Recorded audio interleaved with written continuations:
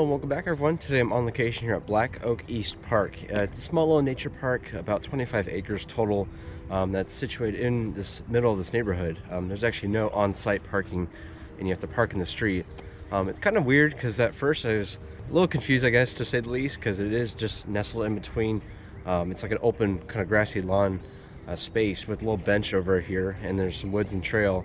And um, yeah, as I was making my way to the location, um, you park in the street and it's right in between two houses which makes me think it would just be you know part of one one or the other's property but you know it's pretty neat now i'm actually in it. It's like it just feels like a whole nother world um, as i'm like deep in this woodland here.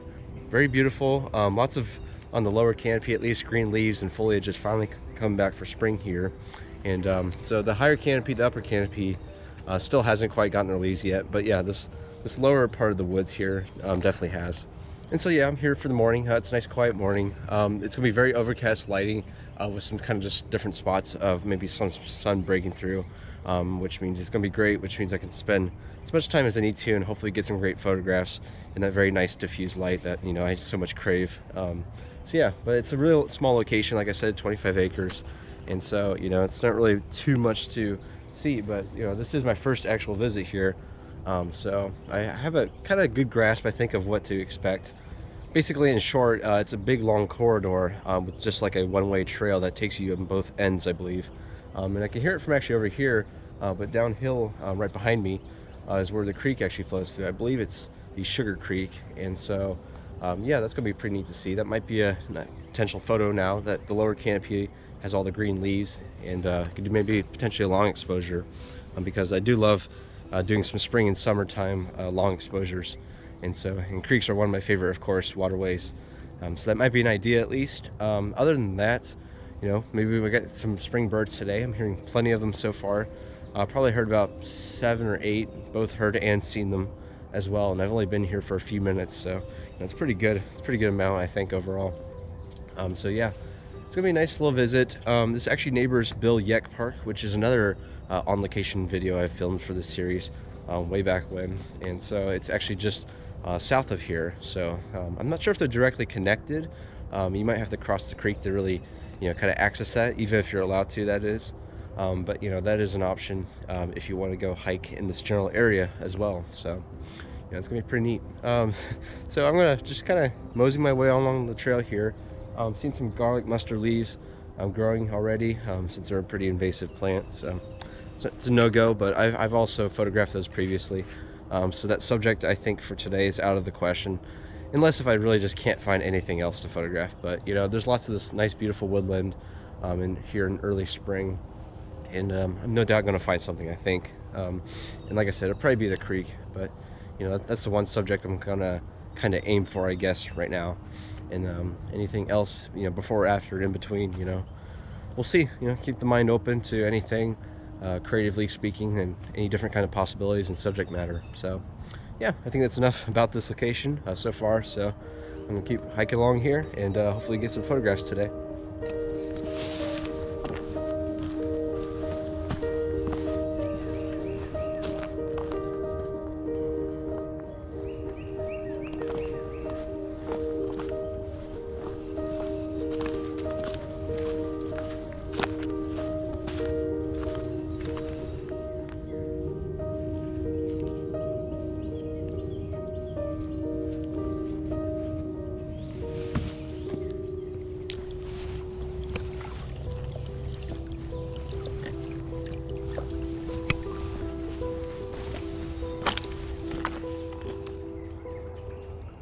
So, uh, I don't know what I'm gonna do for uh, photographic subject, um, at least at this point. Um, I thought I reached like the, I guess the one far end of one of the ends, basically. Like I said, it's a very just skinny, narrow green space, uh, basically, of a nature park. And I thought I reached the one end, but then I crossed over the creek right over here with just a few stones right here. And, um, which is very beautiful, by the way. It's got a very vibrant, kind of greenish, bluish color. Um, I'm not sure if it's because of like the local a nearby city and like maybe some kind of sewage runoff. I don't know, but yeah, it's just a very like beautiful color. Um, I just don't know if it's like, you know, like a clean natural water. Probably not, but you know, anyways, um, And so I'm thinking, it's just the problem is all the lights just starting to, you know, pick up in intensity and everything. At least it will eventually. Um, just because there's enough clouds over here uh, with the sun rose over here to the east. And so um, I have enough window of time, but yeah, it's just already hitting the upper canopy of the trees, which I, I like that kind of nice transition from the uh, more shadowed area down here where I am, obviously, because I'm now in lower elevation of the creek, uh, at least alongside it. And so it's, you know, the light hasn't quite struck this bottom part. Um, but yeah, it's all the way at the top. And um, so that means, you know, my time with that is limited, especially if I'm going to do like a creek long exposure. Um, so I definitely don't want to do that with, you know, the harsher kind of, you know, morning light, I guess, if it's just bright and sunny and everything. Um, but yeah, across this creek anyways, like I was saying, across this creek, um, and I found an, actually another spur kind of side trail over here. Um, so I've, I've yet to check it out, but we'll go down here and see just how far this little 25 acre park goes um, and hopefully something else kind of reaches out to me but yeah i'm seeing lots of ephemeral flowers of course um, lots of buttercups growing alongside uh, the creek here. And yeah i'm also seeing uh, cutleaf toothwort um, also just some other kind of smaller violets and just other typical you know spring flowers um, at least here in early spring of course. Um, but other than that yeah it's just a nice beautiful scenic location. And it's it's really neat how it's just nice and quiet um, being you know in the middle of this neighborhood and everything in the middle of this pretty busy city. Um, but yeah there's just minimal traffic and noise off in the distance and that's pretty much it you know so it's nice and quiet. And um, I feel like because you know it's not really like a really big park you know with a, like a parking lot and everything. I don't feel like most people really know it's here at all really or even go here at all. Um, so yeah it's just nice kind of secluded spot. Um, but yeah for photography purposes, it's it's really a toss-up right now. And um, you know, spring brings a lot of photographic subjects here in nature, um, but it's just a matter of my kind of just motivation, I guess, to get a shot. Because I almost did over top of this creek here, I'm um, just standing on a rock center in the middle, um, just like a flat stone slab, and just taking some shots, uh, long exposure with that neat perspective of being right in the middle of it. Um, but you know, it's just not. I don't feel like it's going to work um, in this case, or it's not going to be worth you know, taking out, you know, the, I may have the camera right here, but, you know, switching lenses and all that stuff and uh, getting it ready and everything. So I wasn't really sure if that's really the, the best approach right now. But um, I can see the, the sun starting to really peek through uh, the trees now and leaves and, you know, just bright sunbeams. But it's getting already lower as the sun gets higher and higher, obviously. The sunlight's getting lower and lower and it's starting to reach down here my way. And so I don't know. But the more I talk, the more I am, uh, for lack of a better way of saying it, wasting time. And so, but I, I guess I want to share my uh, uh, dilemma, I guess, a little bit. You know. So yeah, I don't, I don't know what I'm gonna do here. Like I said, I'm just kind of throwing myself into this new location, but um, fortunately, it's pretty small. Like I said, uh, very small, 25 acres. And so, yeah, it was nice it's like an open field or a clearing down there, so this might be the end of it, um, honestly. It's a beautiful location though. It's very, very reminiscent of Bill Yeck Park, like I said, which is next door. Pretty much this, this smaller little park. Anyways, I'm gonna shut up now and uh, see if I can see the rest of the park here and see if there is a photograph in mine, and if so, I'll get back to you.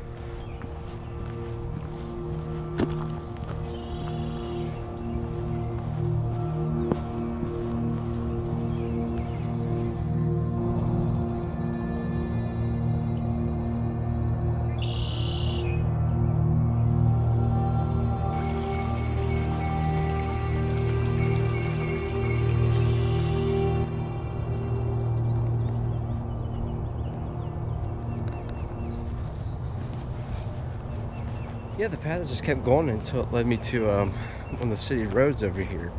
Um, I believe on the western end. Um, so I found this constructed wetland, which is pretty cool. And the sunlight's just way too bright now. Um, so it's probably looks, if I go all the way back to the actual um, Black Oak East proper, uh, it probably is way, uh, you know, just drowning in sunlight. And so I don't know what I'm going to do here for a shot. Um, yeah, I don't, I don't know what I'm gonna do now. It's pretty neat though. It's pretty neat seeing all this different trail. Um, I just, I just kind of kept following it, you know, kind of like a little accident, happy accident. And so, yeah, small constructed wetland, uh, some kind of rolling hills. And so I'm just like right along in between these neighborhoods too and stuff. It was, it's pretty neat to see it. And just the morning dew and just listening to spring birds and everything. Uh, as sun, the sun rose higher and everything and the, the morning began. But um, yeah, worked out pretty well I think, I guess. It's a neat little experience just to see all this, especially that little wetland pond, like I said, with some kind of, you know, sedge grasses and cattails and uh, just, yeah, looking pretty nice. And actually, I'm coming back on it right now. And all these winding creek views, this little wooden bridge, and it's all to myself. so that's pretty nice. It's pretty nice overall. Um, so yeah, from here, I think I'm going back now. Um, I also saw two deer up here um, just before I reached the wetland. But um, yeah, I'm gonna make my way back. I'm gonna see what the uh, eastern end, the other end of Black Oak East has. So should be pretty cool. Um, hopefully it's as great as this hall was. And um, yeah, you in a bit. So I apologize if this video seems very scattered. Um, I don't know where my head's at, but honestly, uh, but there's just lots of stuff going on just because it's spring. And maybe I'm just quite simply overwhelmed just because it is a pretty new location um, for me. And it's a lot bigger than I thought too. I'm really quite surprised by it. A lot more to see. Um, I wasn't really quite sure what to expect. Um, anyways um, so yeah I mean I found this beautiful little just curve in the creek here with some kind of babbling brooks over here um, and it's just a be very beautiful just like setting and backdrop. Um, some nice just dramatic tree reflections um, as they're just kind of standing and you know crooked over top of the creek there. But it's just the light's pretty harsh now and I don't really like the spotlight kind of effect that it does onto uh, pretty much everything around it in the landscape here. Um, so yeah I, I don't know if I'm gonna take a shot here. I might might do it it depends. It's not like it's gonna be blown out highlights because obviously I'll expose and adjust accordingly. Um, but it's just I don't know if I'm really gonna like the results enough to even just think it's worthwhile. Um, and I'm trying to you know be much more uh, choosy and selective with my photography in general. Uh, quality over quantity I guess I guess is what I'm saying. Um, but anyways um, yeah I love my telephoto lens in the car. So I mean wildlife is really out of the question and I'm quite a ways away from it still um, from where I started for the day but I did see uh, my first of the season uh, ruby crown kinglet which is awesome that's, definitely going to be the highlight for today I think overall not just birds but everything else and I uh, saw a couple of them actually, which is pretty neat. Yeah, in the same setting, the same backdrop over here. Um, just saw them kind of floating about and the small little trees and shrubs uh, just right next to the waterway over here. Um, and they're, they're a very small, tiny, hyperactive bird. So they're always just need, need tons of energy and food. So they're always on the hunt basically for berries and other uh, just plant material to eat. And so they're bouncing around these trees, these tree branches like pretty fast. So, I mean, getting a photograph would be pretty tricky, I think. Um, I've tried it before even when they're really close up because they're, they're pretty social birds and they're, they're, really quite fearless for how small they are so I mean they'll get up real close to you and not even care um, just because of how small and fast they are um, but you know like I said it was just nice viewing them through the binoculars and just kind of observing them as they kind of just flip back and forth and everything and bounce around so yeah that was pretty cool probably the highlight for today honestly um, since I haven't taken a single shot I haven't even turned on my camera honestly and so yeah I'm kind of just at a loss for words, honestly, of what to do here. And there's still quite a bit to go, though, so um, try not to give up too soon. But um, you know, the lighting's the lighting's only gonna get more harsh and everything from here on out. And so, you know, I guess my time's limited, I guess, so to speak. But anyways, yeah, so that was a cool little moment there. Um, I also saw my first of the season woodland phlox, which is pretty cool. Little um, spring flower that comes out pretty much in a April and May. It's kind of like the peak time for it to bloom. Um, so I, nice, I saw a nice decent stain of that over at the far end right before I turned around at that uh, city road and you know came back into the park here. Um, so other than that, that's pretty much it. So I'm gonna keep going here and um, hopefully maybe take a photograph. If not, you know, it's whatever. You know, I'm just playing be plenty more spring days like this there'll be tons of bird species and flowers and better lighting of course that you know probably would motivate me more to uh, take some more images here of course so yeah let's go ahead and keep going here all right so i'm putting my foot down i'm trying out this subject here uh, of the creek here uh, it's a different view than uh, what i saw previously because obviously i was coming this way um, now that I'm making my way back to the the start over here. So I didn't really turn my back and you know look at what, really what was behind me here um, as I left this uh, creek crossing. Um, but now that I'm looking at it, it's it's pretty neat kind of little scene here. It just winds right through the kind of the entire landscape in front of me here, and with a 24 millimeter focal length, uh, that really encompasses everything because that's a pretty wide uh, focal length, obviously. Um, but yeah, it's got a nice, pleasing kind of aesthetic and uh, S curve to it, and there's some uh, just kind of some stones off to the side, kind of like a little beach side um, that kind of wraps around it um, over there. It kind of leans more towards the uh, right side on the images I'm taking here at least. So I'm taking two sets of brackets, um, just my typical, I'm exposing for this guy. Um, since there is a lot of plentiful sunlight up there, it's pretty easy to overexpose, so I'm doing that. And then I am exposing for pretty much the rest of the entire uh, scene in front of me here. Um, so that includes all the stones, uh, just the small bits of spotlight, which um, are really minimal, at least um, in the shots I took. It's starting to get a little more harsh right now um, as the sun's just positioning itself in certain different ways and it's breaking that sunlight right through all the trees are obscuring it basically. And so, yeah, it's, it's exposing all that. Um, it's getting the nice green foliage, which really the green foliage really makes it for me, I think. Um, it's not so much the water, even though it is technically a longer exposure. Um, you're really not seeing that flow quite as well um, just because it's not really like a big like white water scene uh, in front of me here. And so it's just a nice calm scene um, of showing the lower canopy and the green foliage of here of early spring. And it shows just a little bits of the uh, top of the treetops there um, that are still like I said bare at least for uh, April here in spring. And so yeah I feel like it worked out pretty well. Um, the sunlight actually works in the favor in my favor for this instance of um, illuminating the green and just the vibrant greens of the, the leaves on the lower canopy of the trees here. Um, so I feel like it's going to actually work out pretty well here. Um, so doing some HDR, long exposure photography is always fun. And um, so yeah, I feel like they worked out pretty well here. And so, and the scene's pretty neat. Um, I got the, the kind of crossing, I guess you could say, um, that I used to get over here. And it just kind of leads you right across the entire scene here, um, starting from the left side and then just going diagonally to the, towards the right. Um, when it comes to aspect ratio and cropping, I may crop uh, later on in post-production. I'm not too sure yet. Um, and I might even need to just squeeze the entire scene a little bit, uh, just more inwards, I guess, um, just because it is a pretty wide scene. And I'm already noticing a couple of distractions over here, um, which there's a little, looks like a little pinkish red uh, ribbon that's, you know, tied onto one of the tree branches. Um, that could be a very obvious distraction. And that bright kind of red, you know, warmer color, I guess, would just be really distracting in the, this entire scene, which is predominantly cooler colors in this case. Um, there's also some kind of trash over here that's hanging off a tree branch uh, that's hanging directly over the creek here and over the water. So um, I'm not sure if I'm really to see if I can get that off. Um, but I may actually try for this little um, ribbon over here. See if I can actually get it. Um, maybe just cut it off or something. I don't know so yeah um, yeah it worked out pretty well though i really liked this nice little scene here i'm not sure if i'm to take any other images of it you know? So i took two sets of brackets. I'm taking about two or three uh, different bracketed exposures each. And um, I'm, what i'm to do is i'm to blend those in post-production. Uh, i might even try some like luminosity masks and stuff like that or i just may just compile them into my hdr photo editor and um, see how well they turn out i guess. But yeah it's a pretty nice little scene here. Um, nothing too crazy going on, but you know, it's just a nice way to document the day and um, this now place I've been to finally, which is pretty neat.